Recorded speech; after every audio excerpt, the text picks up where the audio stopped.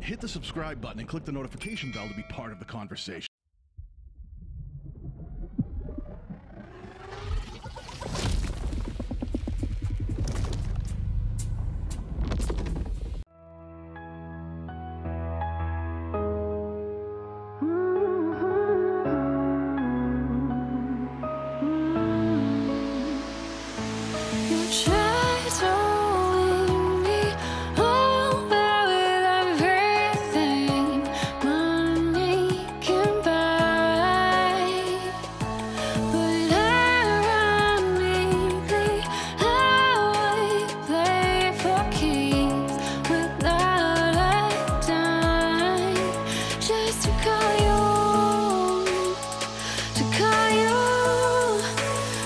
Just to call you.